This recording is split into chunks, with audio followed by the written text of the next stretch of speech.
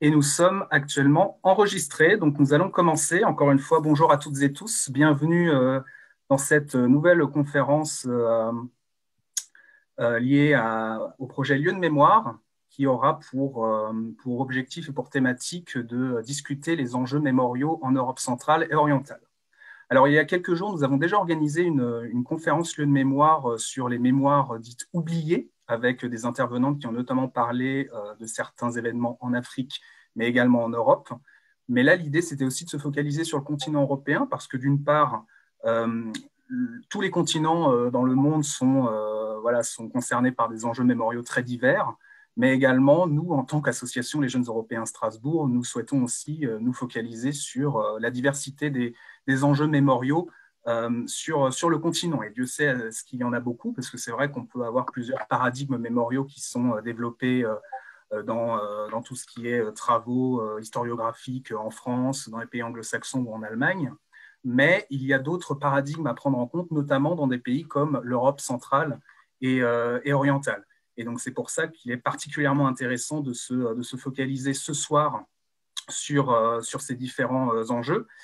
Alors, c'est vrai que l'Europe centrale et orientale, ça a plusieurs exceptions. Est-ce que c'est forcément la Mitteleuropa allemande? Euh, Est-ce que ce sont les, euh, pays qui euh, ont subi le joug communiste? Est-ce que ce sont également les pays qui sont devenus indépendants à l'issue de, la dislocation de l'Union soviétique? En tout cas, c'est vraiment une notion assez particulière sur laquelle on aura aussi l'occasion de revenir ce soir. Pour le moment, en tout cas, l'acception retenue, peut-être imparfaite ou assez biaisée, on va se focaliser vraiment sur les pays qui ont subi le joug de la période communiste, donc entre 1948, 1989 et 1991 en fonction euh, des pays. On n'a pas voulu euh, employer le terme Europe de l'Est. Selon nous, ça a une double injustice. Déjà, c'est mettre dans un même pays, euh, même panier, des pays qui, ont des réalités très différentes. Voilà, quel est le point commun au final entre l'Estonie, qui est un pays de langue et de culture finno-ougrienne et qui se revendique nordique avec un pays, par exemple, comme l'Albanie, qui est situé de l'autre côté de l'Europe. En tout cas, il y a vraiment des pays aux réalités très différentes. Et la deuxième injustice, c'est que le, qualificatif Europe de l'Est, donc à l'Est, au final, scinde l'Europe en deux, encore dans les mémoires. Et le qualificatif Est peut aussi induire que euh, la partie orientale pourrait souffrir d'un complexe d'infériorité par rapport à une Europe occidentale bien mieux développée et qui, aujourd'hui, dans l'Union européenne, reste quand même relativement moteur des différents enjeux d'intégration euh, européenne. Mais au final, comme son nom l'indique, l'Europe centrale et orientale, c'est central sur le continent européen. Et la question primordiale, c'est est-ce que ces enjeux mémoriaux sont aussi reflétés dans cette centralité? Donc, c'est ce que nous allons découvrir ce soir avec nos, deux intervenantes que je me permets de présenter. Euh, je me permets d'abord de présenter Madame Laure Neumeier. Bonsoir. Bonsoir. Alors, vous êtes euh, maîtresse de conférence pardon, en sciences politiques à l'Université euh, Paris 1, donc Panthéon-Sorbonne, et membre du CESSP. Euh, vos premières recherches portaient sur tout ce qui était élargissement de l'Union européenne et sur l'européanisation des États centre-européens.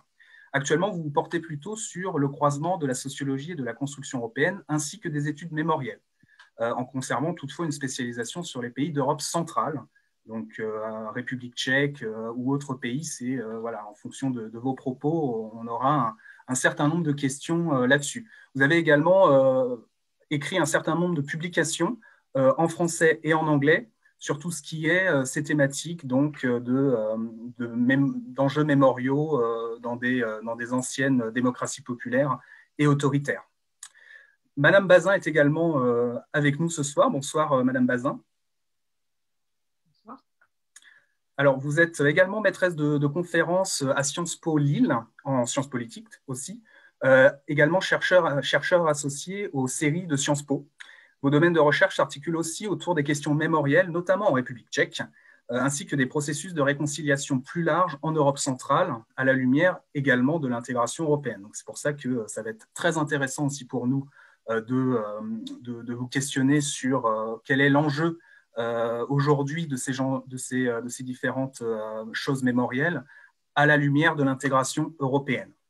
Donc encore une fois, un grand merci à vous deux d'être là. Je me permets également de faire une toute petite présentation du contexte dans lequel nous faisons cette conférence, le projet Lieu de mémoire, qui est un projet porté par les Jeunes Européens Strasbourg, avec de nombreux partenaires régionaux, mais également allemand, puisque c'est un projet qui se veut également transfrontalier. Euh, l'objectif de cet enjeu, l'objectif principal plutôt, c'est vraiment de euh, sensibiliser aux questions mémorielles à l'occasion du 150e anniversaire de la guerre euh, franco-prussienne de 1870-1871, mais également de manière plus générale sur tout ce qu'on appelle les conflits franco-allemands qui ont, qui ont succédé, notamment la Première et la Seconde Guerre mondiale. Alors, de manière très concrète, ce projet se décline euh, via l'organisation de conférences, comme vous pouvez le voir ce soir. Ce n'est pas la première conférence que nous organisons, loin s'en faut, mais ce n'est pas également la dernière. Ça se matérialise également via des, euh, visites de lieux de mémoire euh, dans toute la région du Grand Est, notamment le, le mémorial des Alsaciens et des Mosellans de Schirmeck en Alsace, mais également l'ossuaire de Douaumont à Verdun, euh, le week-end dernier, euh, nous avons également euh, fait une visite dans la ville de Metz, hein, qui est aussi une, ville très intéressante du point de vue croisement d'influence franco-allemande. Et enfin, ce projet se matérialise également via des actions plutôt médiatiques, donc des articles compte rendus de ces différentes conférences, des articles plus larges sur qu'est-ce que la mémoire en Europe, qu'est-ce que la mémoire en France, comment étudie-t-on et comment comment le politique peut-il s'immiscer dans ces enjeux mémoriaux? Donc là encore, il y a beaucoup de choses à faire. Euh, et enfin, c'est un projet qui va vraiment euh, se, poursuivre tout au long de l'année. Donc on espère que toutes celles et ceux qui sont là ce soir sont également intéressés par, par les différentes manifestations que nous organisons. et enfin, si je puis également me présenter, je m'appelle Théo Boucard et je suis vice-président des Jeunes Européens Strasbourg en charge des médias. C'est pour ça aussi que la responsabilité m'incombe de euh, faire connaître le projet euh, dans la sphère euh, médiatique. Alors, après cette petite présentation, somme toute assez succincte, nous allons passer vraiment au cœur du sujet, avec une première question que j'ai préparée pour Madame Bazin comme Madame Neumeier. Première question volontairement large, peut-être même un brin provocatrice. quels sont les enjeux mémoriaux actuels dans les pays d'Europe centrale et orientale? Qu'est-ce qui occupe le plus le débat public actuellement? Alors, je ne sais pas qui veut, euh, s'engager euh, en premier. Et encore une fois, la question reste volontairement large. C'est pour ça que n'hésitez surtout pas à, recentrer aussi sur ce qui est, entre guillemets, le plus important dans les sphères publiques en République tchèque, mais également dans les autres pays d'Europe centrale. Euh, Madame Neumeier, si vous voulez commencer? Oui, ben, je vous remercie. Merci pour cette invitation. Et puis, je, suis vraiment ravie d'avoir l'occasion de, parler de ces questions de mémoire euh, en Europe centrale. Euh, ben, je pense que ce qui est central, justement, euh, c'est sans doute la mémoire du communisme et la mémoire des, des, violences politiques de la période communiste. Cette, question prend évidemment des, formes un peu différentes selon l'expérience du communisme qu'ont eu les pays d'Europe centrale. si on pense par exemple aux pays baltes, euh, cette question des violences du communisme, elle est euh, euh, très fortement liée aux relations avec la Russie, bien sûr, et puis à la, question de l'occupation de, ces pays par l'Union soviétique.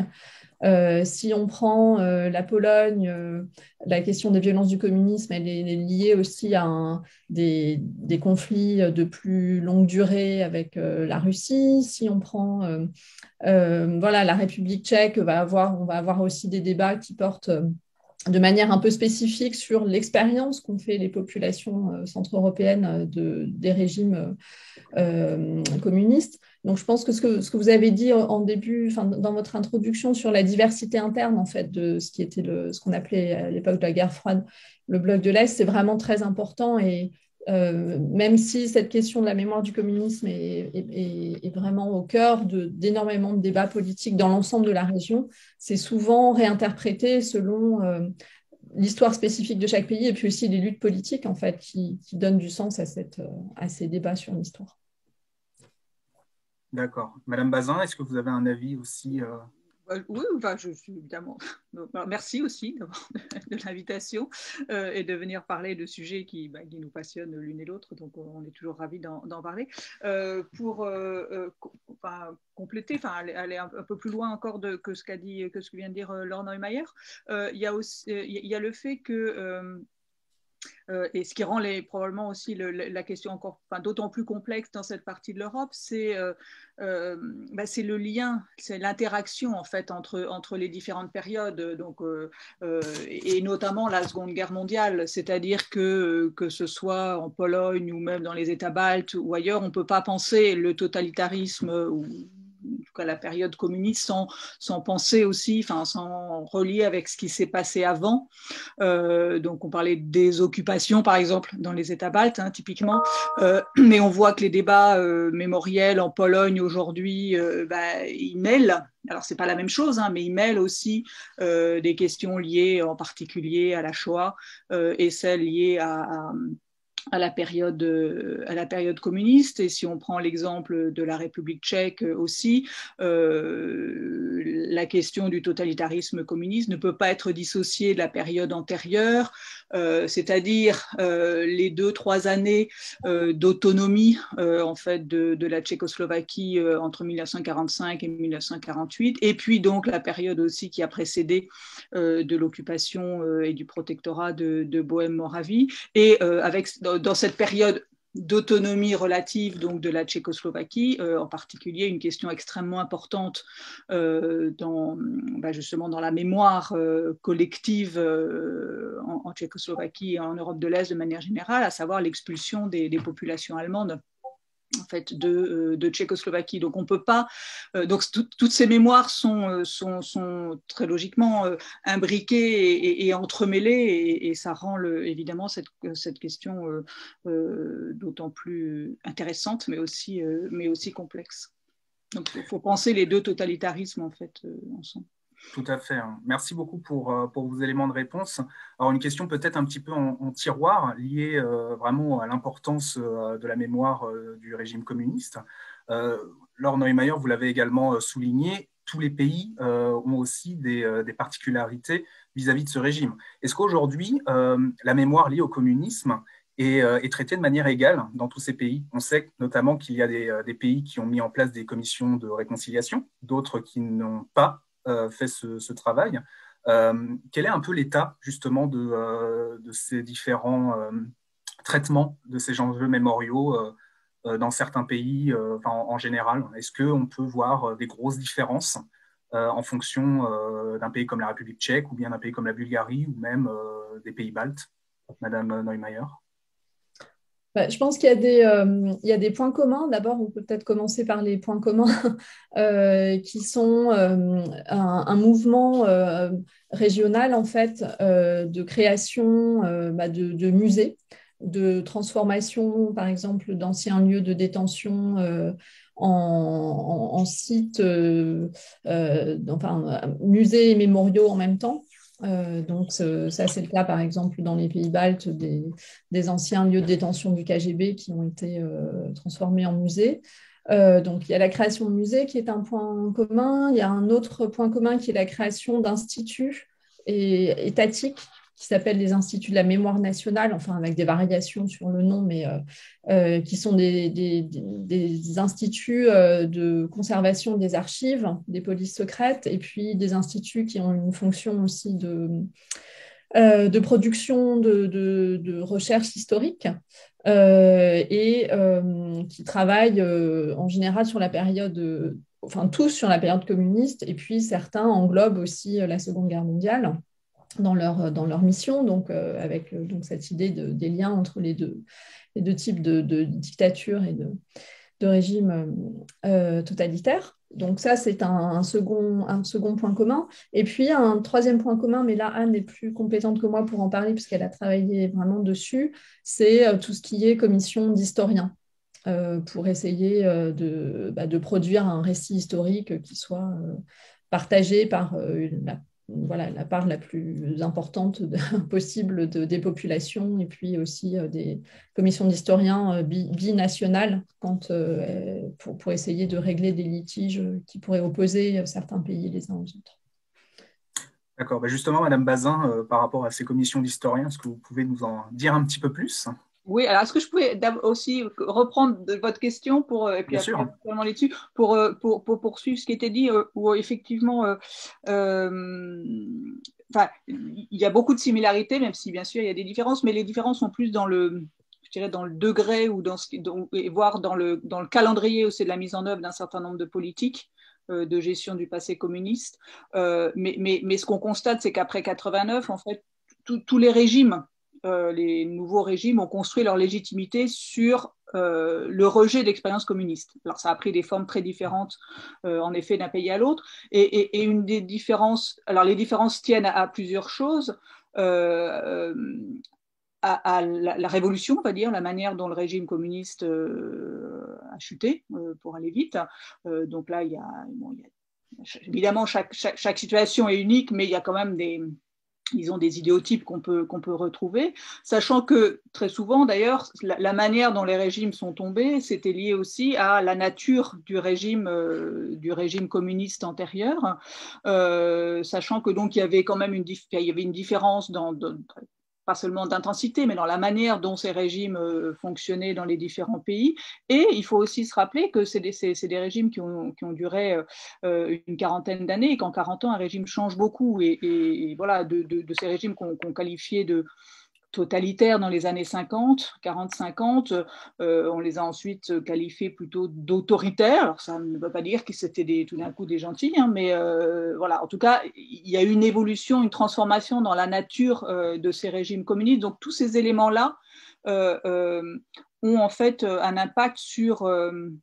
Bah, sur la manière dont, dont, cette mémoire du communisme va, être géré ou va être réactivé dans, dans, dans les différents pays. Euh, donc euh, voilà, donc à la fois des similarités et puis avec, avec des différences à chaque fois. Mais c'est vrai qu'on retrouve quand même des similarités dans, dans, dans, ce qui va être fait avec, je dirais dans un premier temps, des politiques orientées vers, vers les victimes, avec des réhabilitations, par exemple, des restitutions. il y a aussi eu, dans un c'est pas tout à fait euh, l'un après l'autre, mais, euh, juste après des, politiques plutôt ciblées vers les, responsables, alors c'est toujours très compliqué, euh, des crimes du communisme, avec quelques très rares, en fait, assez rares procès, pénaux, et puis, et, donc ce ce qu'évoquait Laure Neumeier, effectivement, ensuite cette question de la la recherche de la vérité, en quelque sorte, euh, pour faire écho avec les commissions que vous évoquiez. Euh, donc, ça va être le vote de, loi euh, d'accès aux archives, par exemple, et puis évidemment ces instituts pour la mémoire, qui prennent effectivement, qui ont pris des, noms, des noms un peu différents ici ou là, et qui, aujourd'hui sont vraiment au cœur en fait de ces politiques de de gestion de la mémoire communiste, à la fois comme, comme euh, lieu de, conservation d'un certain nombre d'archives, en particulier les archives des polices, euh, des polices secrètes, qui, est un matériau très particulier, mais aussi euh, souvent comme centre de recherche, en tout cas de production de recherche historique, et dans certains cas, je pense notamment à, l'Institut pour la mémoire, pour la mémoire polonais, qui est un des plus riche, on va dire, au sens euh, de, dans ses activités, euh, mais aussi donc de, euh, de, communication vers le grand public, de, production de, documentaires, etc., etc., pour, bah voilà, pour alimenter le débat public, parfois de manière un peu politisée, sur les questions, sur les, les, questions mémorielles. Alors pour revenir à la question des, des commissions d'historiens, alors, les, commissions d'historiens, en fait, euh, auxquelles on fait référence, sont, en général des, commissions euh, souvent bilatérales.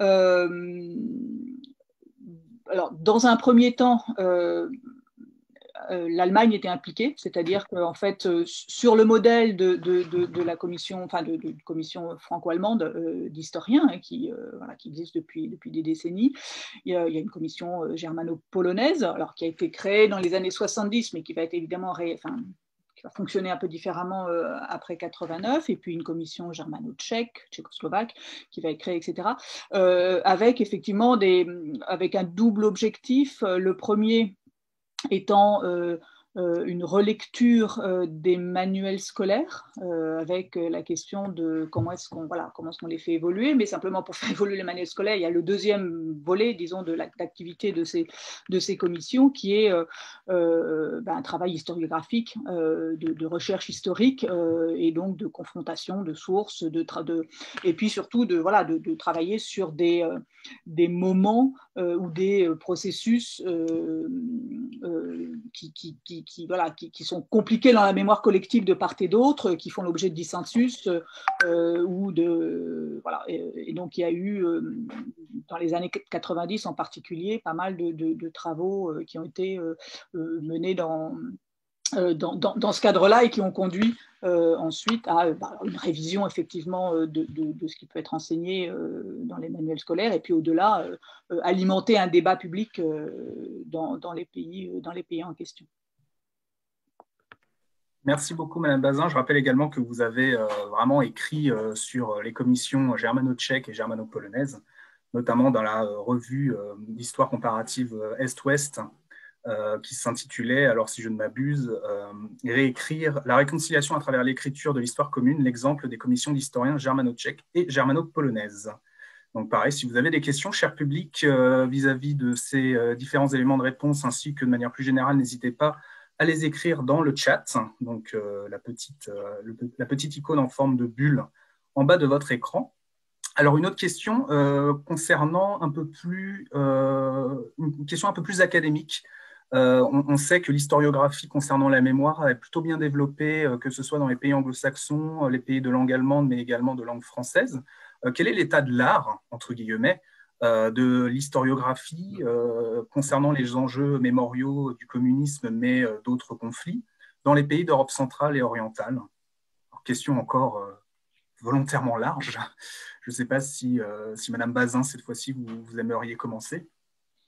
alors, de manière générale, effectivement, vous l'avez dit, il y a eu une explosion des, des, travaux sur les questions mémorielles dans les pays occidentaux, on va dire, euh, pour aller vite, dans les années 90, euh, de, enfin, voilà, dans les pays occidentaux, ça commence vraiment dans la fin des années 80, dans les années 90, et puis, euh, voilà, puis ça va, ça, va, ça va partir vers l'Est en quelque sorte. alors, il y, a, pas mal de travaux, enfin, il y a un certain nombre de travaux qui sont conduits sur, sur ces questions-là, alors à la fois dans des pays occidentaux, je pense aux États-Unis en particulier, euh, en Allemagne bien évidemment, en France un peu, on n'est pas très très nombreux, mais il y en a quand même un peu. Euh, et puis, euh, donc voilà, qui, qui, alors notamment les travaux conduits aux États-Unis ont souvent des, des ambitions euh, comparatistes euh, qui, sont assez intéressantes puisque ça permet de, justement d'aborder euh, de manière comparée les différentes politiques de gestion du passé qui peuvent être conduites ici ou là. voilà, sans aller forcément systématiquement dans, dans, dans, un, voilà, des, dans des éléments très sociologiques ou anthropologiques sur, sur le terrain dans, les pays, euh, dans les pays d'Europe centrale et orientale, il y a un certain nombre de, chercheurs, euh, plutôt de la plus jeune génération, euh, qui vont faire des travaux euh, notamment en sciences politiques ou en, sociologie politique sur, euh, sur les questions mémorielles. Les historiens aussi se sont saisis de, cette, de, cette, de cette question. Euh, après, la, une vraie question qui, que vous posez là, enfin, que, je trouve, que je trouve intéressante sur, sur, sur ce point-là, c'est c'est aussi la, la, circulation de ces savoirs, c'est-à-dire ben, notamment la langue dans laquelle ils sont produits l'anglais un peu la lingua franca, alors qu'en Europe de l'Est, c'est pas forcément évident euh, pour tout le monde. Donc, euh, il, y a aussi un certain nombre de productions euh, scientifiques dans les langues de la région. Qui ne sont pas forcément connus de chercheurs dans des pays occidentaux qui n'ont pas accès à ces langues pour des raisons, pour des raisons évidentes.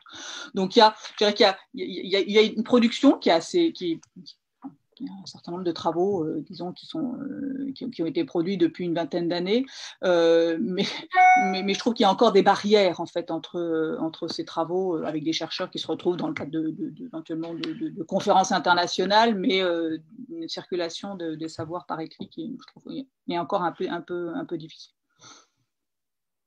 Merci pour, pour la réponse. Madame Neumayer, par rapport à ce que vient de dire Madame Bazin, est-ce que vous, vous en savez peut-être un peu plus sur les différents les, différents obstacles, au final, que cette historiographie produite en Europe centrale et orientale peut rencontrer dans une diffusion peut-être un peu plus internationale euh, bah, alors, euh, évidemment, la question de, la langue est primordiale, mais il y a quand même, depuis bon, maintenant 30 ans que, les, régimes communistes sont, sont tombés, il y a quand même eu un processus d'insertion des, des, chercheurs centre-européens dans des réseaux euh, internationaux et euh, qui, permet à leurs travaux de, circuler quand même euh, mieux qu'avant. et donc, il y, a, effectivement énormément de travaux sur, la mémoire qui, qui, empruntent à différentes perspectives. Enfin, il y a eu beaucoup de travaux d'histoire orale dans lesquels euh, en fait, on recueille des témoignages, des récits de vie euh, et on travaille aussi sur les questions de la transmission des mémoires euh, au sein des familles, entre les générations, etc.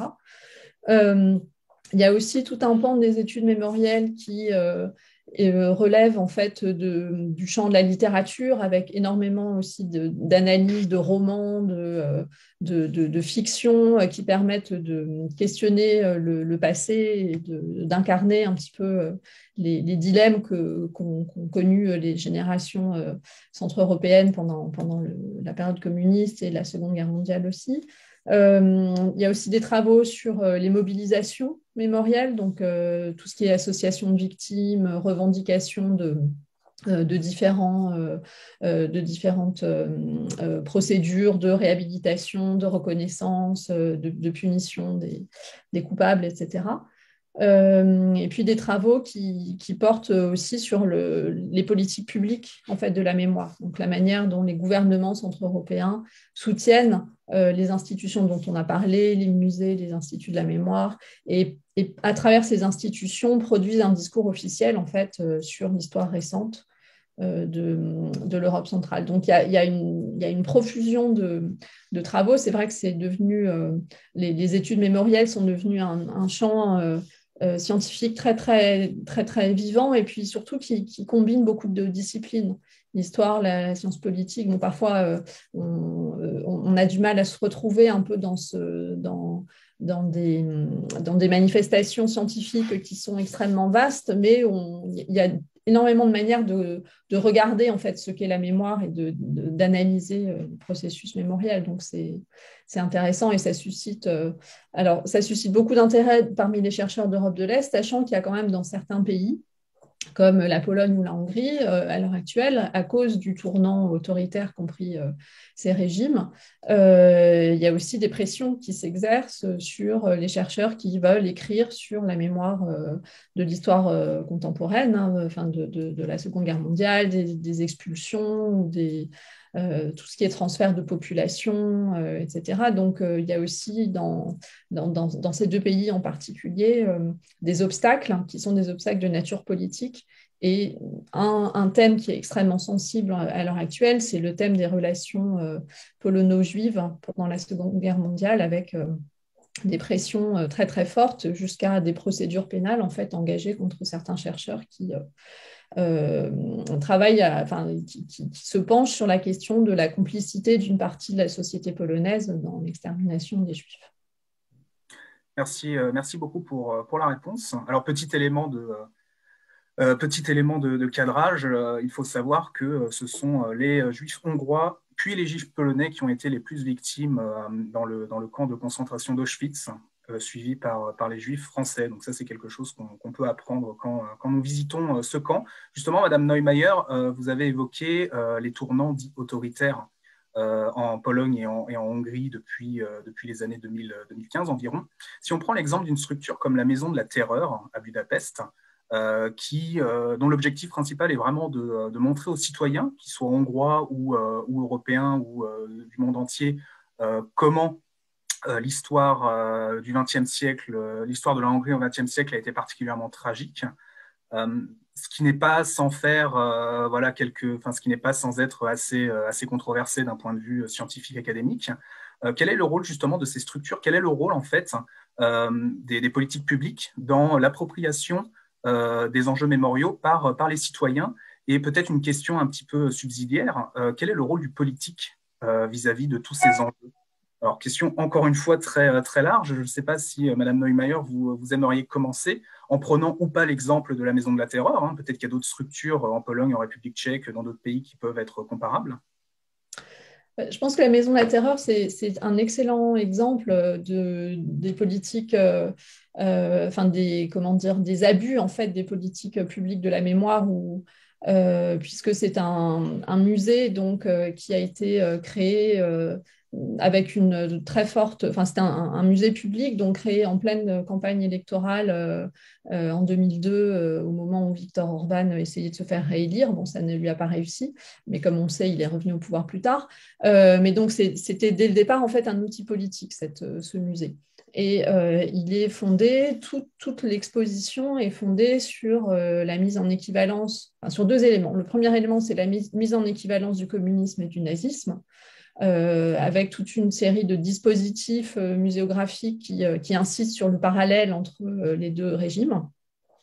Donc ça, c'est la première caractéristique. Et la deuxième caractéristique, c'est que de ce musée, c'est qu'il présente en fait euh, l'histoire euh, euh, de la Hongrie. Donc comme étant une histoire dans laquelle les bourreaux ne sont pas des Hongrois, ce sont soit des, Allemands, soit des Russes, et les Hongrois sont des victimes en fait de puissances impérialistes. Donc c'est une, une manière euh, non seulement de condamner le communisme en, disant que c'était euh, un régime aussi néfaste que le, régime nazi, mais c'est aussi une manière de, dégager en fait euh, les, Hongrois de toute responsabilité dans les violences politiques qui ont été commises en Hongrie, alors qu'on sait très bien que, comme dans le cas de la France, il y a une participation de, de, de euh, de l'État hongrois et de, euh, de, citoyens hongrois dans euh, tout ce qui concernait à la fois les persécutions et l'extermination des Juifs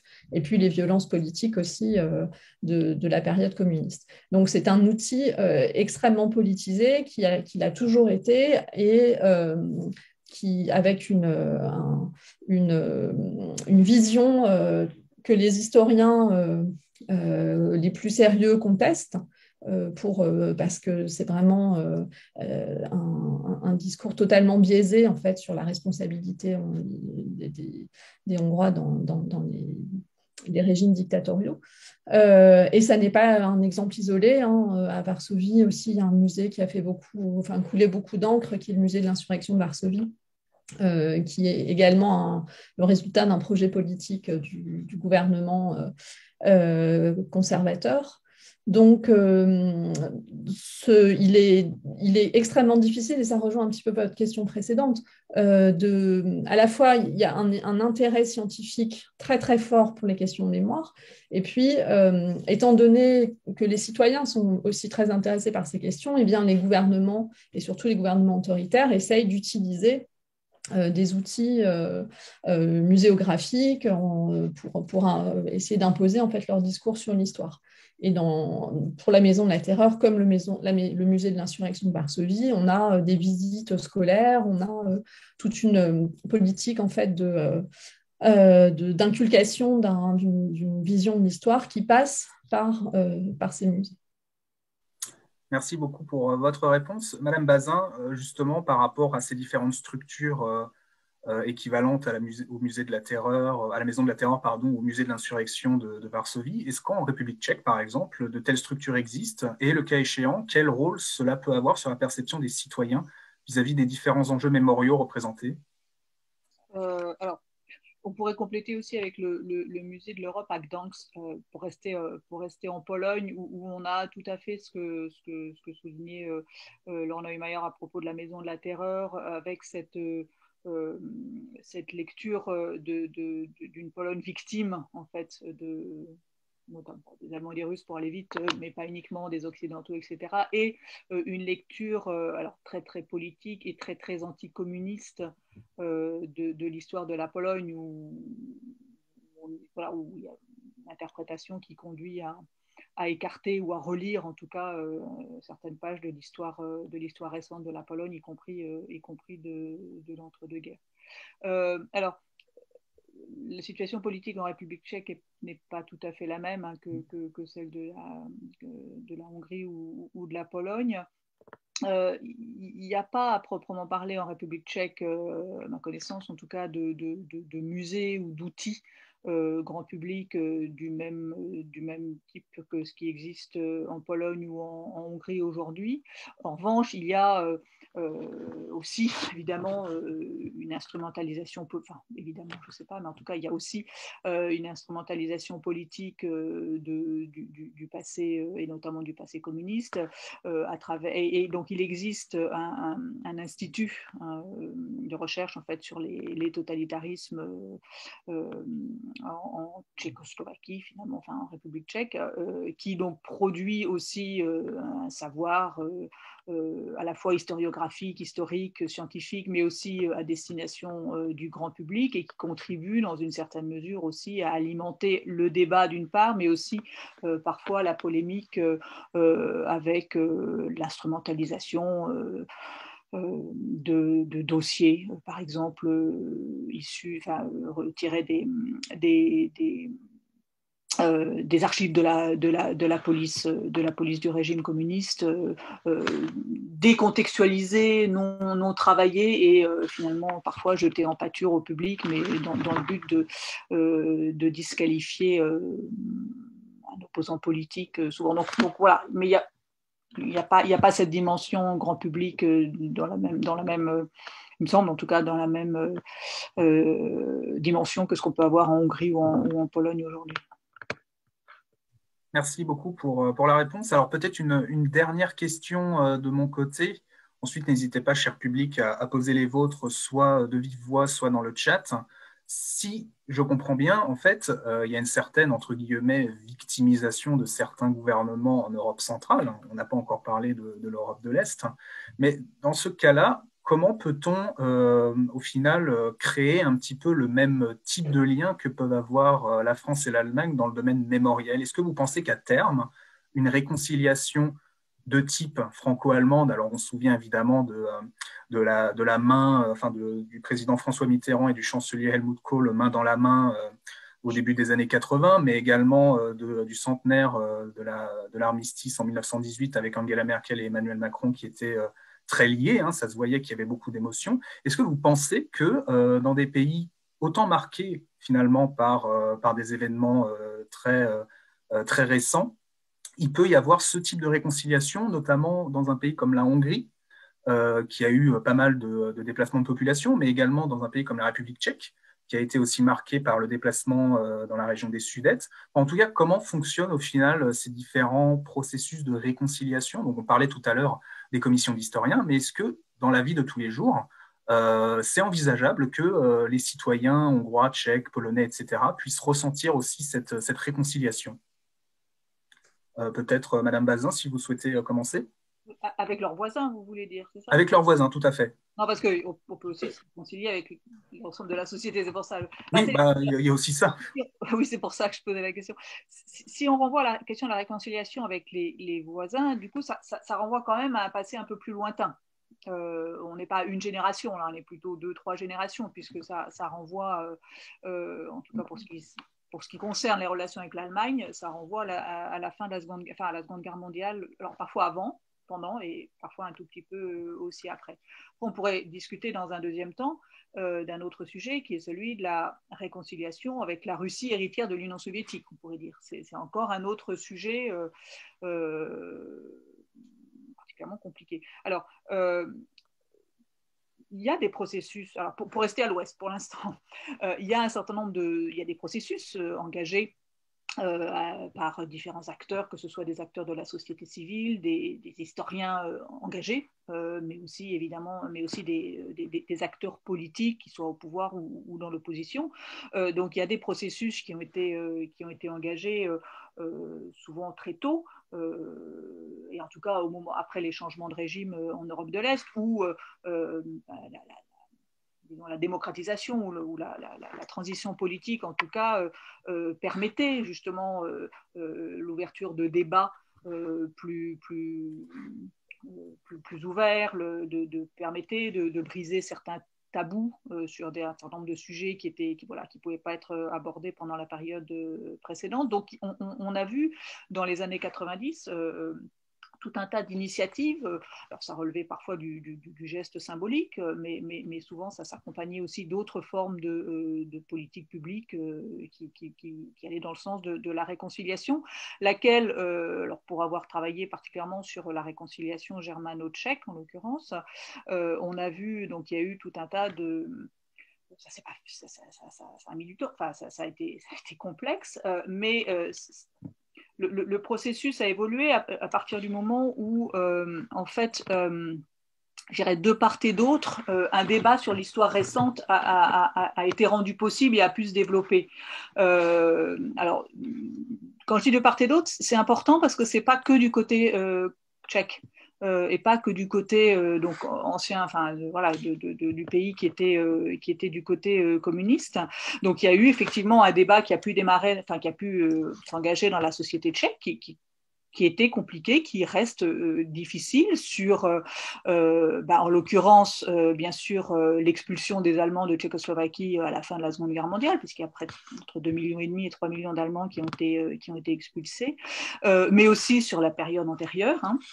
Euh, donc côté tchèque, un débat a pu émerger. Côté allemand aussi, parce que euh, euh, on sait très bien qu'il y, a eu, bien sûr, en, Allemagne de l'Ouest, à partir de la fin des années 60, des débats sur le passé, sur la Seconde Guerre mondiale en Allemagne, qui ont, qui ont je dirais, irrigué l'ensemble de la société allemande. Mais, et c'est intéressant, dont en fait les associations d'expulsés et, les expulsés, pour certains d'entre eux, sont restés un peu euh, à l'écart en fait de, ces débats. Donc là aussi, dans les années 90, il y a un certain nombre de choses qui ont pu, euh, qui ont commencé à être être discuté. Euh, on évoquait tout à l'heure euh, les commissions d'historiens, bah, typiquement euh, des travaux d'historiens sur le nombre de victimes, par exemple, de ces expulsions forcées de, la fin de la Seconde Guerre mondiale, sachant qu'avant, il y avait des chiffres très très différents qui, étaient, qui étaient revendiqués de part et d'autre.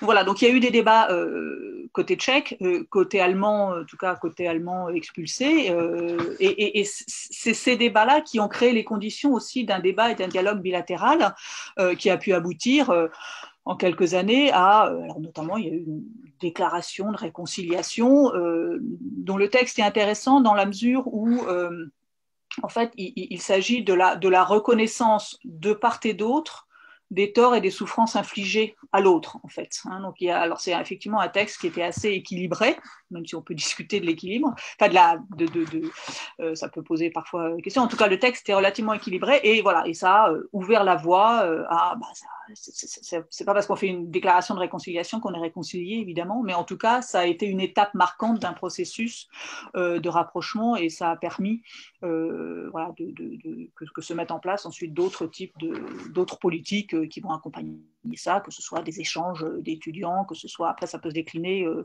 euh, de, maintes manières, comme on l'a vu dans le cas franco-allemand que, que, vous mentionniez.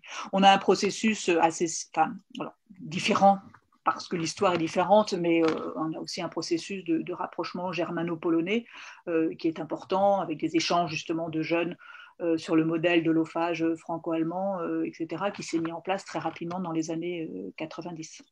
Mais c'est intéressant, me semble-t-il, de, souligner, c'est l'importance, euh, euh, la, la possibilité d'une réconciliation, ou en tout cas d'un rapprochement, euh, euh, dépend en grande partie de la capacité de, des sociétés, des différents groupes, de euh, chacun relire aussi, regarder sa propre histoire avant d'attendre, avant d'être même en dialogue avec l'autre. En fait, il y a trois débats. Il y a un débat chacun et un débat de part et d'autre. et c'est évident que de ce point de vue-là, le, le, contexte euh, politique, c'est-à-dire en l'occurrence ben, un contexte démocratique, euh, crée, euh, ça c'est pas c'est pas une condition indispensable, mais c'est une condition très très favorisante pour pouvoir pour que ce type de, de dialogue et d'échange puisse puisse se développer. Et on voit bien les crispations que ça peut engendrer quand en Pologne on a un durcissement du régime avec euh, des, euh, des, propos tenus euh, par, l'exécutif qui ne vont pas vraiment dans le sens de, de, la réconciliation, typiquement. Et, donc là, ça renvoie, puis je laisse la parole à, à, Neumayer, ça renvoie ben justement à, quand une réconciliation polono-russe, typiquement. voilà, donc il y a un certain nombre de choses qui sont faites, il y a des commissions d'historiens qui ont travaillé, mais voilà, il manque probablement, euh, de part et d'autre maintenant, mais a fortiori côté russe, euh, un, contexte politique qui permet euh, voilà, aux historiens de, travailler et, ensuite d'irriguer la société avec, des, avec, le, avec un, débat, un débat sur l'histoire récente. Merci pour votre réponse. Alors effectivement, je rappelle qu'il existe l'Office germano-polonais pour la jeunesse, hein, donc, qui a été créé sur le même modèle que l'OFAGE, il y a même des, euh, programmes trilatéraux entre euh, français, allemands et, polonais euh, soutenus par l'OFAGE. Donc ça, pareil, c'est très important pour, confronter un petit peu les, différents points de vue de, la jeunesse du triangle dit de Weimar, hein, parce que ces trois pays ont aussi des relations trilatérales assez, fortes.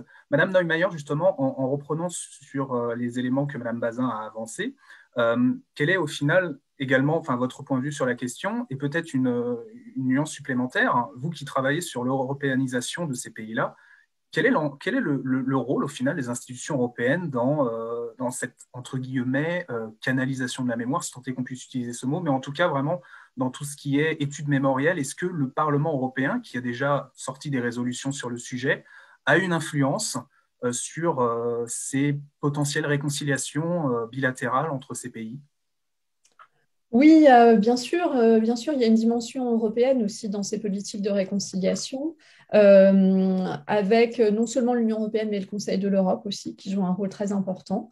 On, a, en fait, il y, a, plusieurs dossiers mémoriels sur lesquels les institutions européennes se sont penchées. Et les, premiers, les premières interventions européennes ont eu lieu en fait à la fin des années 90, euh, au moment où euh, l'adhésion de ces pays euh, était quasiment acquise, hein, ou en tout cas, on, est, arrivait à la fin des négociations d'adhésion. Et là, on a vu surgir en fait des conflits mémoriels dans les négociations d'adhésion. C'était le cas au sujet de la protection des minorités hongroises en Roumanie, en Slovaquie, en Ukraine. C'était le cas de la question euh, des expulsions des Allemands de Tchécoslovaquie et de la, question de savoir s'il fallait euh, leur, euh, leur donner une compensation, qu'ils puissent récupérer leur propriété, récupérer la nationalité tchèque s'ils la souhaitaient, etc. Donc, à la fin du processus d'adhésion, en fait, c'est par des, des, conflits entre les pays centre-européens que les institutions européennes ont été amenées à euh, mettre en place des politiques euh, qui visaient à définir des standards communs, en fait, notamment tout ce qui est la protection des minorités nationales, euh, pour couper un peu l'herbe sous le pied des gouvernements qui essayaient de jouer un peu cette carte nationaliste, et c'était le cas notamment en Hongrie déjà à l'époque. Euh, donc, euh, ces politiques de réconciliation, elles, elles, sont anciennes. C'est ce que j'essaye de dire, en fait, c'est que ça fait une vingtaine d'années maintenant que les institutions européennes se penchent sur la question de la mémoire. Et puis, il y a un deuxième thème euh, mémoriel sur lequel les institutions européennes ont, sont intervenues aussi, qui est la question de la mémoire du communisme. Et là, ça a commencé encore plus tôt que ça, en fait, au Conseil de l'Europe, euh, puisque le Conseil de l'Europe s'est élargi euh, à l'Est avant l'Union européenne, comme vous le savez. Euh, et donc, dès 1992, en fait, l'Assemblée parlementaire du Conseil de l'Europe a, débattu de l'épuration dans l'ancien bloc de l'Est. Et c'était assez intéressant parce que cette mise à, l'agenda parlementaire en fait de la question du communisme, elle a été faite en réalité par des sociodémocrates qui craignaient une chasse aux sorcières euh, en Europe de l'Est, et, notamment des sociodémocrates français. Donc euh, c'était une sorte de chemin un peu détourné, euh, mais depuis le Parlement européen, l'Assemblée parlementaire du Conseil de l'Europe, et puis même la Commission européenne, avec sa politique mémorielle dans le cadre du programme L'Europe pour les citoyens, finance en fait, enfin, les assemblées évidemment débattent, adoptent des résolutions, etc. Et la Commission européenne finance beaucoup de, projets euh, qui sont liés à la préservation de la mémoire euh, du communisme, du nazisme, mais aussi euh, d'autres, ce, que, la Commission appelle des, moments cruciaux de l'histoire de l'Europe. Parce qu'il y a toute la question de savoir si, évidemment, il ne faudrait pas aussi avoir une politique mémorielle pour le, fascisme italien, pour le franquisme, euh, voilà, le régime des, colonels en Grèce, etc. Est-ce qu'il ne faudrait pas en fait élargir euh, toutes ces discussions euh, européennes pour ne pas seulement parler du nazisme et du communisme, mais de toutes les dictatures qui ont frappé l'Europe? C'est effectivement aussi un enjeu particulièrement important. Merci beaucoup, Madame Neumayer, pour, pour ces éléments de réponse. Alors, cher public, n'hésitez surtout pas à prendre la parole euh, en désactivant votre micro, en levant la main, parce qu'il est possible de lever la main sur Zoom, une main bleue en l'occurrence, euh, ou bien tout simplement d'écrire euh, vos questions dans le, dans le chat. Il n'y a absolument aucun souci pour que ces questions soient volontairement aussi larges ou bien s'attardent sur des points précis. Donc, je, vous laisse, je vous laisse le champ libre pour celles et ceux qui souhaitent s'exprimer ici ce soir euh, et, rebondir sur ce que mesdames Neumayer et, Bazin ont pu dire.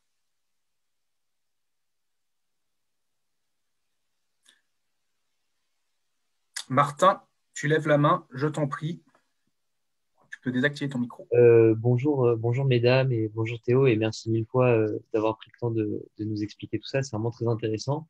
Je me demandais, on a beaucoup parlé de la République tchèque quelle est en fait la, mémoire euh, de la séparation euh, de la Tchécoslovaquie en deux entités nationales et euh, comment est-ce que c'est ressenti et comment est-ce qu'on en parle aujourd'hui, notamment dans un cadre politique et universitaire?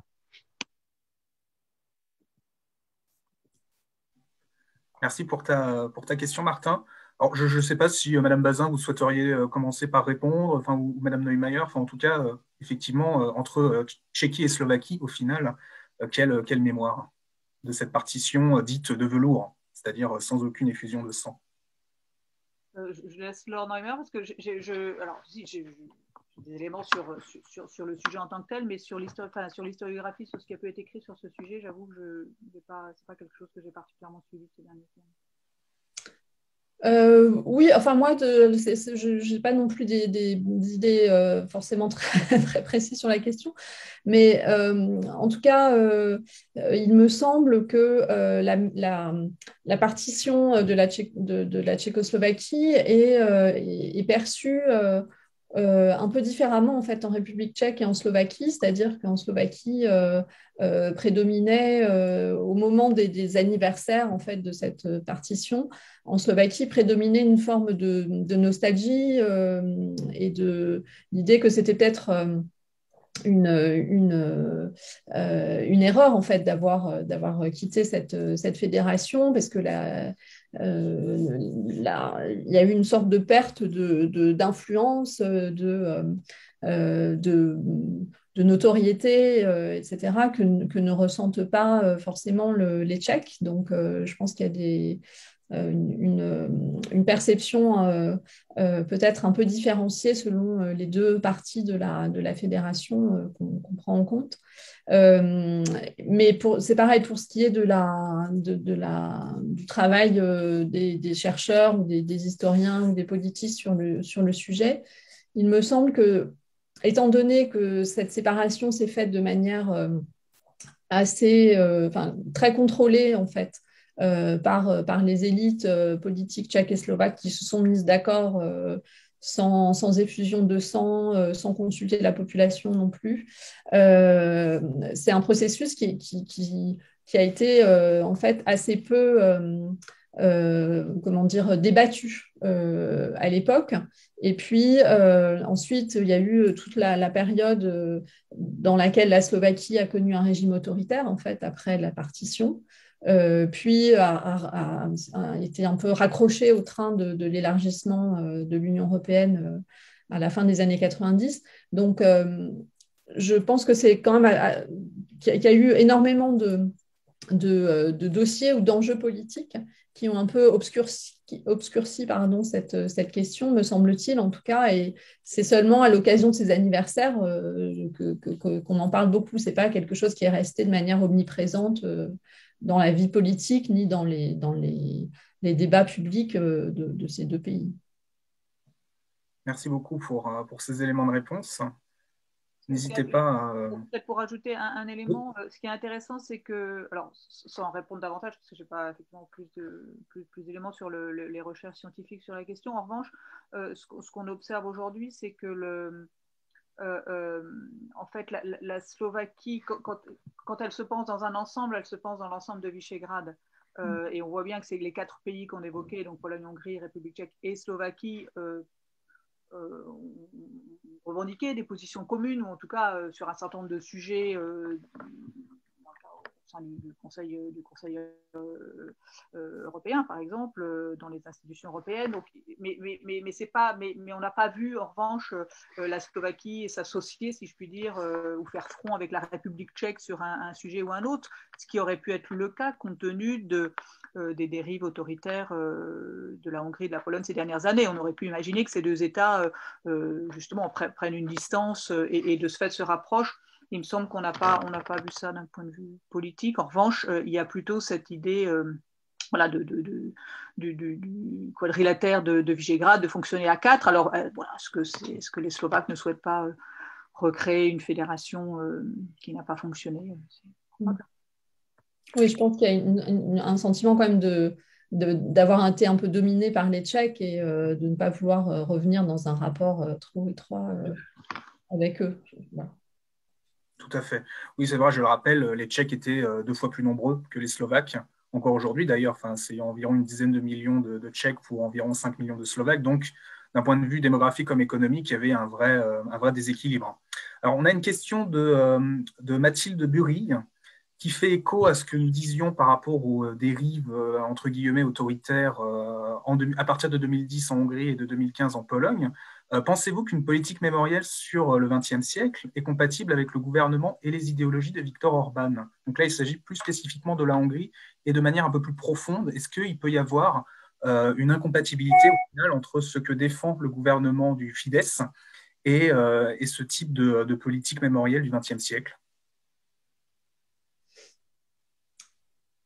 Euh, bah, bah, je peux prendre la parole, enfin, si Anne, tu veux commencer. Euh, bah, je pense que c'est euh, très très difficile de, de s'accorder avec le gouvernement hongrois actuel sur une vision de l'histoire de l'Europe qui n'a pas besoin d'être une vision unique, mais qui serait une vision comportant quand même des consensus assez larges sur, sur l'interprétation qu'on peut en faire.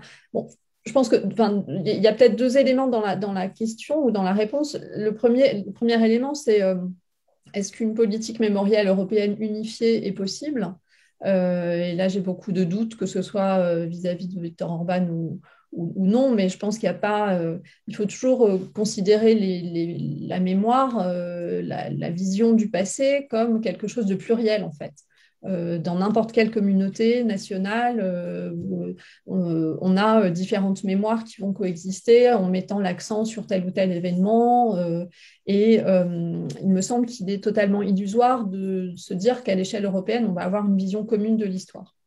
Néanmoins, on peut travailler à une vision qui soit euh, qui repose sur des, des, bases communes et notamment sur des principes de, euh, de pluralisme, de discussion, euh, de discussion à partir de faits établis par la communauté des historiens, des, des, principes d'empathie, principes aussi de pragmatisme qui font qu'on ne va pas toujours s'enfermer dans un discours victimaire source de, de, de conflits. Donc, je pense qu'il y a des limites à ce que peuvent faire les institutions européennes de manière générale en matière mémorielle. Institutions européennes, autorités étatiques aussi d'ailleurs, mais évidemment, ces limites, elles sont encore plus fortes au niveau européen à cause des, de la diversité des expériences historiques.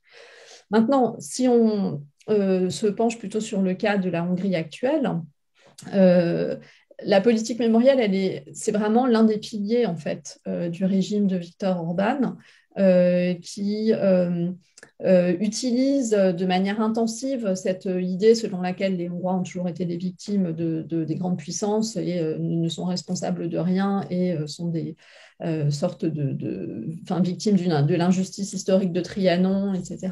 Donc c'est une sorte de, euh, de, réservoir euh, dans lequel, enfin de mobilisation politique en fait, dans lequel Victor Orban puise, enfin son régime hein, puise. De manière très très très très poussée. Donc et comme il, refuse euh, d'essayer de, de, s'accorder sur ces principes communs qui pourraient être à la, base d'une politique mémorielle partagée euh, au niveau européen, je, ne vois pas trop comment on peut, euh, tant que ce régime existe, espérer avoir un, un, porter un regard voilà, commun sur, sur l'histoire pour ce qui concerne la Hongrie. Merci beaucoup, Madame Neumayer, pour ces éléments de réponse. Madame Bazin, est-ce que vous partagez ces éléments d'analyse? Euh, oui, oui, absolument. Euh, pour, pour euh, peut-être plus en Europe centrale qu'ailleurs, en tout cas qu'ailleurs dans le monde, l'histoire est, est, un outil politique qui fonctionne. Alors, pas, voilà, de manière générale en Europe, c'est un outil qui fonctionne, mais qui ne fonctionne pas forcément de la même manière dans d'autres sociétés, que ce soit en Afrique subsaharienne ou même en Asie, par exemple. Euh, et, c'est vrai que c'est un outil qui fonctionne particulièrement bien euh, en Europe centrale et orientale, où euh, encore aujourd'hui, la position même de l'intellectuel historien est, importante dans la société, plus qu'aux États-Unis, par exemple. États-Unis, ce sera plus la figure peut-être du juriste, de l'avocat, du, du, juriste de droits humains, par exemple, qui sera, qui sera valorisé dans un débat euh, dans un éditorial euh, dans la presse, hein, par exemple. Euh, en, Europe centrale et, orientale, c'est vrai que l'historien voilà, a une légitimité dans l'espace public, peut-être plus, en tout cas importante, plus qu'ailleurs, je ne sais pas, mais en tout cas importante, ça l'a été et ça le reste encore aujourd'hui, même si ça a tendance à se, se repéaniser pour le coup, en tout cas se, nuancer un peu. après, c'est ce qu'on a évoqué tout à l'heure, effectivement. le, la politique, la, question de la mémoire renvoie euh, à, la, possibilité du débat. Alors, d'abord, du débat, bien évidemment, euh, entre historiens, c'est-à-dire que l'histoire, euh, ce n'est pas une science exacte, c'est une science de, débat. les historiens ont besoin d'échanger librement. Alors, avec, voilà, ils peuvent avoir différentes lectures d'un même phénomène, tout en les lectures étant juste euh, les unes et les autres. Donc il y a d'abord un débat entre historiens qui, doit pouvoir euh, avoir lieu. Euh, et c'est pas évident. Rappelez-vous. il n'y a pas si longtemps, alors je sors de la Hongrie, mais je pense à la Pologne, hein, où il y avait eu, lors d'une conférence à l'EHESS à Paris, l'intervention de, ben voilà, de,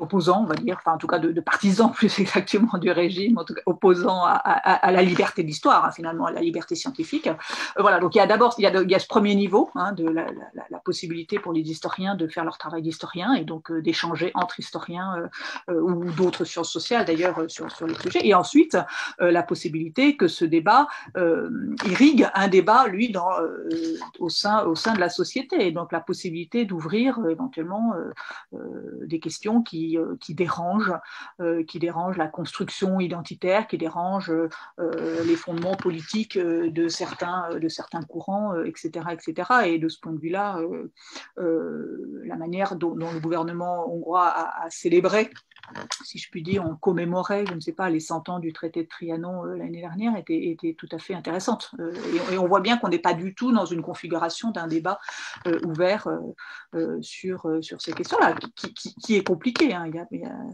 mais il n'y a, pas, la place politique pour le faire. Ça ne veut pas dire qu'il n'y a pas des historiens en Hongrie, bien évidemment, qui le font, ou des intellectuels qui, s'efforcent de promouvoir ces, questions-là et d'avancer là-dessus. Merci Madame Bazin pour, pour la réponse. Euh, D'autres questions parmi, euh, parmi le public, de plus en plus euh, nombreux? Paul, je t'en prie. Euh, donc bonsoir à tous, merci de votre présence à cette conférence. je voulais savoir si on pouvait considérer que le régime communiste a gelé les mémoires, s'il a gelé donc les mémoires, et avec elle le nationalisme, et donc avec son effondrement qui les a réveillés. Pense notamment aux minorités hongroises d'autres frontières que vous avez rappelées, ou euh, au conflit euh, mémoriel qui oppose la Bulgarie et la Macédoine du Nord en ce moment, qui bloque d'ailleurs son adhésion pour des conflits mémoriels. Donc voilà, je voulais savoir ce que vous pensiez euh, généralement d'une montée du nationalisme qui va de pair donc avec la chute du communisme. Merci pour ta réponse, pour ta question, pardon, Paul. Alors effectivement, oui, cette relation entre nationalisme et, mémoire, ça peut être aussi intéressant, euh, eu égard notamment à ce qui se passe également dans les Balkans. On n'a pas du tout évoqué euh, l'enjeu ce soir. Euh, je ne sais pas qui souhaiterait se, lancer en, premier. Madame, Madame Bazin. alors, je ne sais pas si on peut geler les mémoires. c'est-à-dire après, il faut voir à quelle mémoire on fait référence. Euh, alors je pense qu'on peut censurer la recherche historique, on peut voir censurer le débat historique, euh, on peut façonner la mémoire, la mémoire collective, voire même la mémoire individuelle. Euh, alors après, je, voilà. Donc en tout cas, il y, a déjà un, objet, à mon avis, de, de débat à ce niveau-là. Alors, pour répondre quand même à votre question que j'ai bien comprise et que je trouvais très très intéressante effectivement, euh, euh, il y a eu effectivement, enfin il y a eu sous le communisme, euh, un peu dans, dans les différents pays, des politiques de de façonnement, on va dire, de la mémoire collective. Euh, euh, et puis de contraintes aussi hein, dans l'expression de cette, mémoire. Euh, c'est-à-dire qu'il y a des sujets qu'on ne pouvait pas aborder pour différentes raisons. Et alors c'est intéressant par rapport à la, question de la, réconciliation qu'on évoquait tout à l'heure, au sens où en tant que bah, puisque les sociétés partageaient un, même, un même régime et étaient donc des, sociétés amies, des pays frères, etc., etc. Tout d'un coup, la question, par exemple, euh, du passé euh, entre l'Allemagne de l'Est et la Pologne, ne, en tout cas du passé de la Seconde Guerre mondiale, ne se posait plus dans les mêmes termes, puisque de toute façon, euh, la RDA était du bon côté et c'était l'Allemagne de l'Ouest qui était du mauvais côté. Donc, de ce point de vue-là, effectivement, on a, on a contraint, en quelque sorte, les mémoires. En tout cas, il y a des mémoires, enfin, il y a des discours mémoriels qui n'étaient plus euh, audibles au sens où on n'avait pas le droit de les dire, on ne pouvait plus les dire.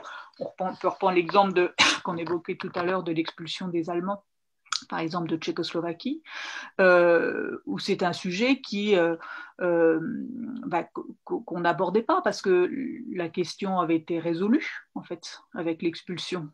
Et c'était donc le, sujet n'était plus n'était plus à l'ordre du jour et donc il n'était pas possible de pour des opposants ou pour même des, des, des citoyens qui voulaient simplement remettre cette question sur la table, euh, d'aborder ça dans le, dans le débat public. Alors ça l'a été hein, de manière euh, assez confinée dans, les, dans la dissidence à la fin des années 70, mais euh, l'opinion publique, pour l'opinion publique, la question était réglée et, la question allemande est, avait été résolue finalement par, par l'expulsion.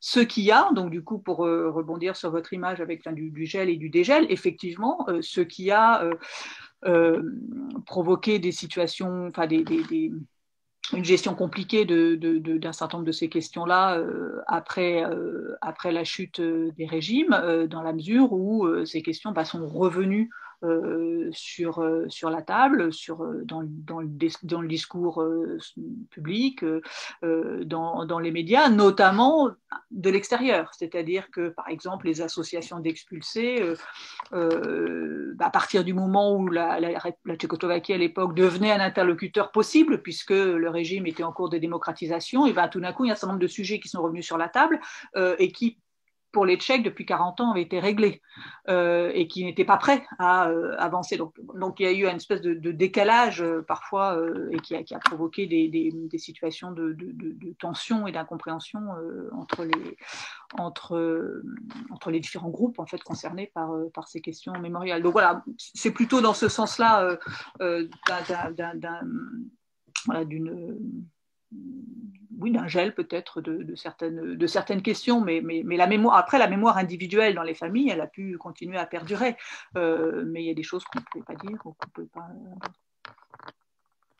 Merci pour ces éléments de réponse. Madame Neumeier, est-ce que vous partagez également ce qui vient d'être dit? Est-ce que vous avez des éléments à ajouter? Euh, oui, oui, non, non, je, je, je, je partage ce, ce, qui vient d'être dit. Je pense que euh, effectivement, il y avait des tabous historiques et une vision euh, officielle de l'histoire qui empêchait de, parler de certains thèmes pendant la période communiste. Euh, pour ce qui est des minorités hongroises, c'était le cas, puisqu'il y avait cette idéologie en fait de l'internationalisme prolétarien, de la solidarité entre les pays frères, qui faisait qu'on n'allait pas questionner les, Tchécoslovaques, par exemple, sur ce qui se passait pour les, Hongrois de Slovaquie ou les Roumains sur la manière dont les Hongrois de Transylvanie euh, pouvaient euh, conserver leur identité hongroise ou pas. Euh, mais dans les années 90 et 2000, donc ces demandes de, il y, a eu un double mouvement de demande de reconnaissance en fait de ces passés douloureux, de ces injustices, des souffrances qui, ont, été provoquées, enfin dans le cas de la Hongrie par, le traité de Trianon. Euh, et puis, euh, le nationalisme aussi, ben, c'était une carte politique à jouer euh, pour se relégitimer pour certains acteurs qui en fait avaient été des dirigeants communistes, enfin là je pense à Milosevic par exemple en Serbie, hein, qui s'est maintenu au pouvoir en jouant la carte euh, euh, de la Grande Serbie, de la défense des Serbes, etc. Euh, en Slovaquie, qui a aussi construit sa légitimité sur, sa, sur, sur une politique nationaliste. Donc on a eu une sorte de conjonction en fait de demandes émanant euh, de groupes sociaux qui se mobilisaient pour, pour la reconnaissance de leur, de leur souffrance ou des souffrances de leurs ancêtres, et puis euh, des acteurs politiques qui ont saisi en fait ces, euh, ces demandes venant de, certains pans de la société comme, comme carte politique. Et euh, donc, euh, effectivement, même si ces mémoires n'ont pas été gelées, parce que comme Nadiane, euh, même s'il y, avait une différence assez nette entre ce qu'on pouvait dire en public et ce qu'on ce pouvait dire dans le cadre familial, ce qui fait que ces, représentations du passé, elles ont perduré. Enfin, C'était le cas aussi dans les Pays-Bas, par exemple, avec l'idée de, de, la double occupation, d'abord par les, par les, euh, les soviétiques, euh, et puis par les nazis, puis de nouveau par les soviétiques. Donc, euh, c'est la conjonction en fait de cette, espèce de mouvement sociaux de, de, demande de reconnaissance du passé, et puis de mobilisation de, sentiments nationalistes en fait, qui a donné, qui a créé cette conjonction entre la fin du communisme et puis et puis la montée du nationalisme, mais sachant aussi que bien souvent, quand même, les, même les régimes communistes, en fait, avaient des, euh, enfin, n'hésitaient pas à recourir à la carte nationale. Euh, c'était le cas en Roumanie, euh, c'était le cas en, Allemagne de l'Est aussi. Enfin, il y avait des formes quand même de, glorification du régime qui passaient par l'affirmation d'une certaine supériorité par rapport à d'autres peuples. Et le communisme n'a pas du tout, enfin, les régimes communistes n'ont pas nié euh, l'importance de, la nation. Ils, se sont servis aussi de cette carte nationaliste à des moments de crise, par exemple, pour se, pour relégitimer. Merci beaucoup pour, euh, pour, ces éléments de réponse. Alors, nous avons une question d'Andrea que je euh, remercie également. Est-ce que le rôle prépondérant donné à l'historien aujourd'hui dans ces sociétés peut être rapproché du rôle de l'Église, à savoir une revanche à prendre à la suite du communisme? Là, pareil, question assez large, mais peut-être pas totalement établi dans l'historiographie. Que, pensez-vous de, de ce, de ce parallèle, sachant qu'Andrea peut tout à fait clarifier si, si besoin? Je, je t'en prie, Andrea, si tu souhaites aussi prendre la parole. Bonsoir à tous et à toutes. Euh, merci, euh, merci beaucoup euh, pour vos éclairages et puis c'est un honneur de vous avoir parmi nous ce soir. Donc ma, question, peut-être que le parallèle est, maladroit, mais quand on voit la, place de l'Église que, peut avoir, que, l'Église peut avoir dans ces pays et qui fait du coup partie de cette Enfin, étant donné que l'Église était interdite et la pratique de la religion est interdite sous le communisme, le fait qu'il n'y ait plus de communisme, il y a comme un regain de, foi. Euh, et peut-être que l'historien a, aussi un rôle de, comment dire, de pansement de plaie, si je puis dire ça comme ça, puisqu'on lui demande de raconter un récit euh, qui a été occulté ou oublié, de la même manière que du coup l'Église euh, disparaît et puis elle revient. Donc maintenant qu'elle est là, on en profite. je ne sais pas comment, je ne sais pas si mes éclairages sont aident davantage ou pas du tout d'ailleurs.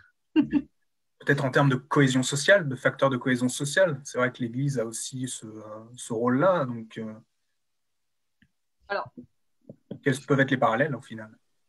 L'Église euh, en Europe de l'Est, c'est, vous pensez à la Pologne, je pense, parce qu'il y a la Pologne et les autres, quoi. Entre autres. Oui, enfin, c'est-à-dire que que ce soit la République tchèque, la Slovaquie, euh, même la Hongrie, enfin, l'Église joue pas du tout le même rôle qu'elle a qu'elle a pu jouer en Pologne. Euh, je pense que la, situation de la Pologne, euh, alors il y a eu effectivement un regain euh, qui a commencé en fait avec, l'élection du pape, hein, Jean-Paul II. L'Église polonaise a joué un rôle, important dans la chute du communisme en Pologne et dans les années 90, début des années 2000, son rôle tend quand même à s'éroder euh, beaucoup, euh, beaucoup aujourd'hui. Donc je pense que c'est moins vrai aujourd'hui que ça a pu l'être euh, il, y a une vingtaine d'années. Et surtout, je pense qu'on ne retrouve pas en tout cas cette, cette centralité de, de l'institution catholique, en l'occurrence, dans, dans, dans, tout, dans, tous les pays. Alors du coup, je ne suis pas sûre que la, comparaison permette d'aller très loin. D'autant que, en fait, euh, donc l'historien a une légitimité, mais ça ne veut pas dire que l'historien raconte ce qu'on a envie d'entendre. Euh, et c'est là où c'est parce que vous, le, le, rôle de cohésion de la société. Euh, justement, les, débats historiographiques qui ont pu émerger, alors dans ces pays-là ou, ou, à l'extérieur, mais renvoyant à l'histoire de ces pays, parce qu'il y a quand même des historiens, alors parfois immigrés d'ailleurs, originaires de ces pays-là, euh, euh, aux États-Unis en particulier, qui, qui, ont, qui, vont jouer un rôle important, euh, mais c'est souvent des histoires ben justement difficiles qui sont difficiles à entendre parce que ça, voilà, ça, ouvre, ça met le, ça ouvre des, des, pages, des pages difficiles de l'histoire euh, de l'histoire nationale ou de l'histoire euh, du pays. Euh, ça renvoie à, voilà, à des, moments douloureux et, et, ça peut interroger aussi une identité ou en tout cas une, identité construite depuis une quarantaine d'années. Donc, de manière générale, ça n'a pas du tout toujours être. Enfin, bon, ça va pas que dans le sens de, de quelque chose de, rassurant et de confortable pour, euh, pour la société. Donc, c'est pour ça que je pense qu'on peut, ne peut pas les mettre sur le même. Euh, euh, enfin, les, les, mettre dans le même registre, en tout cas, d'analyse. en revanche, les historiens ont pu, ici ou là, alimenter, je dirais, euh, un débat euh, public euh, et parfois entretenir, mais, qui peut s'avérer difficile. Pour reprendre le cas tchèque, le, le débat public est difficile sur, sur le passé, sur la fin de la Seconde Guerre mondiale, exemple. Et le passé communiste aussi. Merci pour ces éléments de réponse. Madame Neumeier, est-ce que vous souhaitez ajouter quelque chose par rapport à, à tout cela? bah, non, juste brièvement, je pense que le, parallèle entre l'Église et les, historiens euh, est quand même intéressant dans le sens où il souligne le fait qu'on euh, a une pluralité d'acteurs de plus en plus divers en fait, qui prennent position sur le passé et qui euh, vont rendre le passé présent dans le débat public. Donc c'est en cela que et, les historiens ils sont dans, dans, une situation un peu particulière puisque euh, d'un côté, la, liberté académique euh, est, revenue, enfin dans les années 90. Euh, on, a attendu beaucoup des historiens en termes de production de connaissances et de, connaissances sur le communisme, et puis aussi pour, pour rompre avec la propagande qui était l'enseignement d'histoire dans la période communiste. Donc il y avait énormément, je pense, d'attentes euh, qui, ont, été formulées euh, auprès des, enfin, dans, et qui, donnaient à l'historien un, rôle important. Euh, mais on a aussi, il n'y a pas eu non plus de monopole en fait de l'historien sur l'écriture de l'histoire, c'est-à-dire qu'avec euh, toutes les mobilisations euh, euh, sociales qui, viennent des associations de victimes, qui peuvent venir aussi de groupes religieux, par exemple, enfin, dans, le, cas de, la Hongrie, il y a aussi quand même une sorte d'alliance entre l'Église luthérienne et le, gouvernement Orban hein, dans la défense d'une identité hongroise qui, passe aussi par, par une dimension religieuse. Donc, d'un côté, les historiens étaient un peu placés sur une sorte de piédestal, on attendait d'eux euh, des connaissances et, euh, une, lecture euh, nouvelle du passé. Et simultanément, leur monopole sur l'écriture de l'histoire était contesté par, le fait qu'il y avait de plus en plus de, voix venant de, tous les de, plein de secteurs sociaux différents qui voulaient aussi bah, intervenir et faire valoir leur vision du passé. Merci pour, euh, pour ces nouveaux éléments de, réponse. Est-ce qu'il y a d'autres questions? Alors encore une fois, n'hésitez pas à soit à lever la main, soit à désactiver votre micro, soit à écrire votre question euh, dans l'espace dédié euh, au chat. Alors moi, personnellement, j'aurais peut-être une, petite question qui serait surtout à Madame Neumayer, puisque vous avez écrit en 2018 un livre euh, qui s'appelle, alors excusez mon accent anglais, euh, The Criminalization of Communism in the European Political Space After the Cold War. Au final, comment est-ce qu'on criminalise actuellement les crimes communistes, mais également toutes les politiques qui ont été faites durant le communisme? Et le cas échéant, est-ce qu'il y a des personnes qui sont euh, traduites en justice, des personnes de premier plan? Alors on pense soit à des dirigeants euh, vraiment euh, des partis communistes, soit à des, euh, personnes dans la nomenclatura. en tout cas, comment, quelle est la situation actuellement liée à cette traduction pénale des principaux responsables? Mm-hmm. Alors en fait, il y a eu très peu de, procédures pénales et bon, dans mon livre, quand je parle de criminalisation, en fait, c'est plutôt la condamnation en général du communisme avec euh, ce qui a dominé, ce sont quand même les politiques mémorielles par rapport euh, aux, politiques pénales, parce qu'il y a énormément d'obstacles juridiques et, politiques à,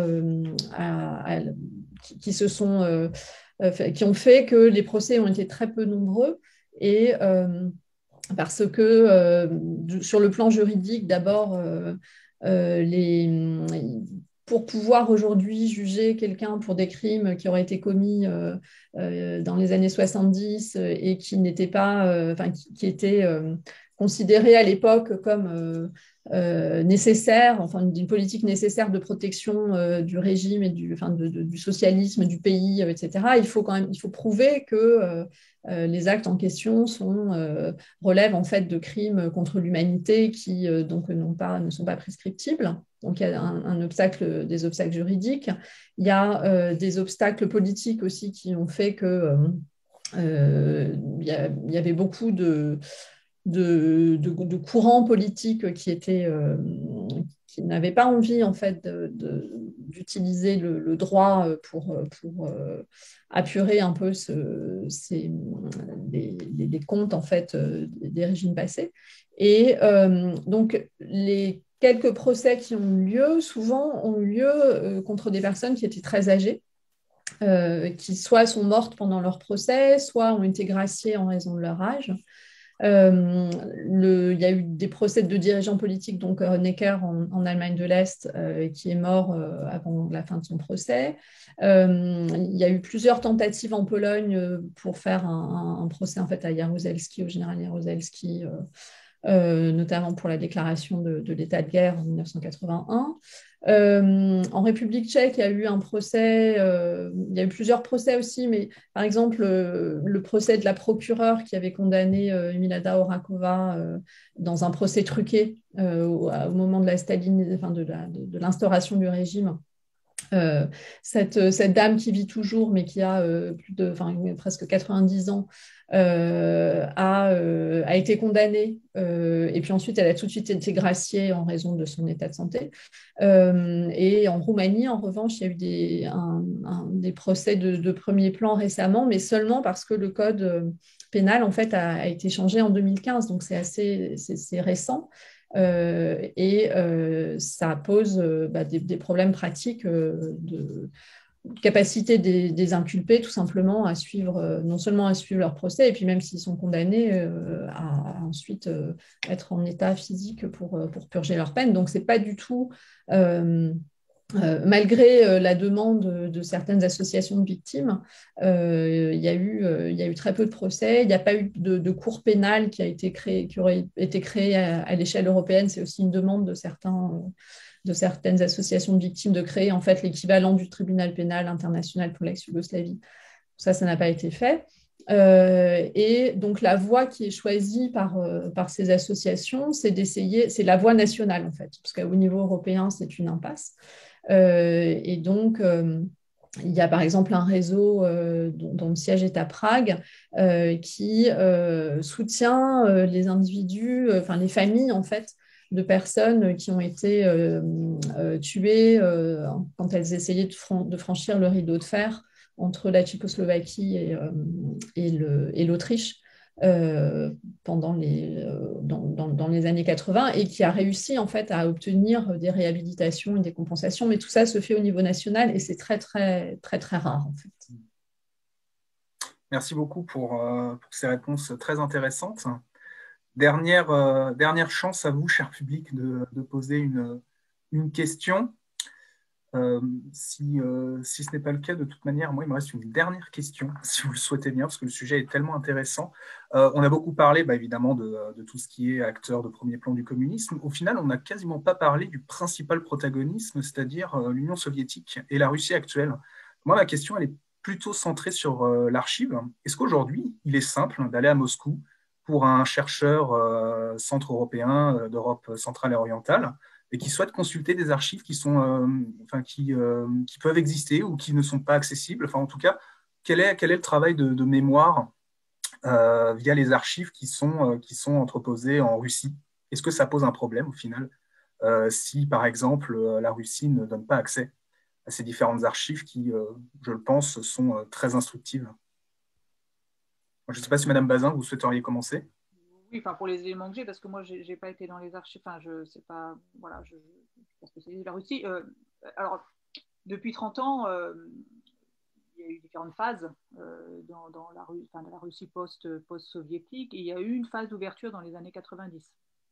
on se rappelle même que Boris Yeltsin, reconnaissant le massacre de Katyn, etc., il y a eu vraiment il y a eu une ouverture d'un certain nombre d'archives, non seulement aux chercheurs russes, mais aussi aux chercheurs euh, occidentaux dans les années, 90. Euh, euh, alors, je après, je ne vais pas dire de bêtises sur les dates, mais bon, de manière générale, globalement, sous la présidence de, Vladimir Poutine, les choses sont de plus en plus contraintes. mais il y a eu, alors, dans un contexte politique, hein, ce qu'on évoquait tout à l'heure, pas toujours facile, même dans les années 90, on parlait des commissions d'historiens, par exemple, les commissions d'historiens germano-russes, ont travaillé euh, et qui euh, sont allés au bout de ce qu'elles pouvaient faire, c'est-à-dire qu'il s'agissait plus côté russe de, en fait, il y avait un blocage sur la, révision des manuels scolaires. En revanche, euh, les historiens, par exemple, avaient rassemblé un certain nombre de matériaux qu'ils ont mis, qui mettaient à disposition des enseignants pour compléter finalement les manuels scolaires que, ceux-ci devaient utiliser en classe. Donc, il y a eu un certain nombre de choses euh, qui ont été tentés dans un contexte déjà déjà difficile dans les années 90, euh, qui globalement aujourd'hui euh, c'est même compliqué pour certains chercheurs tout simplement de, pouvoir se rendre, en fait, d'avoir des visas de, travail pour se rendre en Russie dans certaines villes pour travailler. Merci beaucoup pour ces éléments de réponse. Madame Neumayer, est-ce que vous souhaitez rebondir sur ce qui a été évoqué? Bah oui, oui, le fait que l'accès aux archives est, très problématique en Russie, c'est un problème qui est évidemment qui se pose pour les chercheurs et puis aussi euh, ça peut être un problème politique dans certains pays, enfin en tout cas un, élément du débat politique aussi par exemple dans les pays baltes. Parce que euh, au début des années 90, après, enfin, les, pays baltes ont acquis leur indépendance euh, pas, brutalement, dans une, une, de manière assez, assez graduelle. Et donc, euh, il y a beaucoup d'archives qui ont été soit détruites, euh, soit euh, emmenées à, Moscou avec une sorte d'exode en fait de, membres du KGB qui sont partis avec leurs archives. Et donc cette question des archives qui manquent, euh, et euh, est resté depuis un, thème en fait du débat politique dans les États baltes et un élément qui, fait partie du conflit en fait euh, russo-balte puisque les, les, gouvernements ont demandé de récupérer ces archives, ils pas les autorités russes n'ont pas, n'ont pas accepté. Et donc, c'est resté comme une sorte de, un peu de, comment dire, de, euh, de points euh, qui, suscitent euh, beaucoup, de, débats et puis beaucoup de, ressentiments contre la Russie. Donc cette, cette, question, elle est centrale et dans certains cas, elle va au-delà du champ académique. Voilà, Ce n'est pas seulement un problème pour les historiens, mais c'est un, problème parce que certaines populations ont l'impression qu'on leur a volé en fait une partie de leur histoire en les privant de l'accès à ces, à ces archives. Merci pour ces éléments d'information, Madame Neumayer.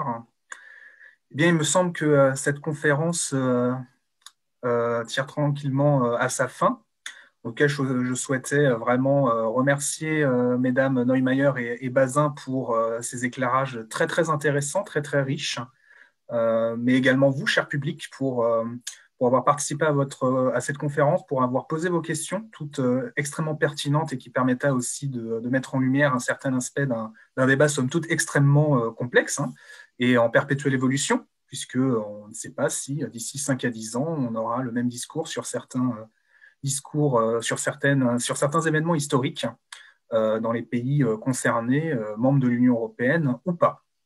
je rappelle également que cette conférence est enregistrée, donc revisualisable à, volonté, mais également que cette conférence se, tient dans le projet Lieu de mémoire que j'ai présenté en début de, conférence.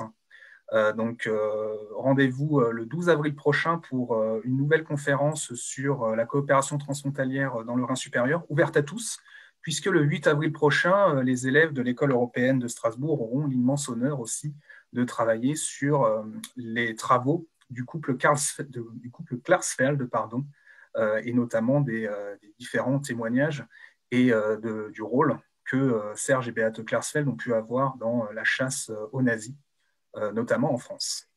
Merci à, vous tous euh, et à vous toutes d'avoir participé.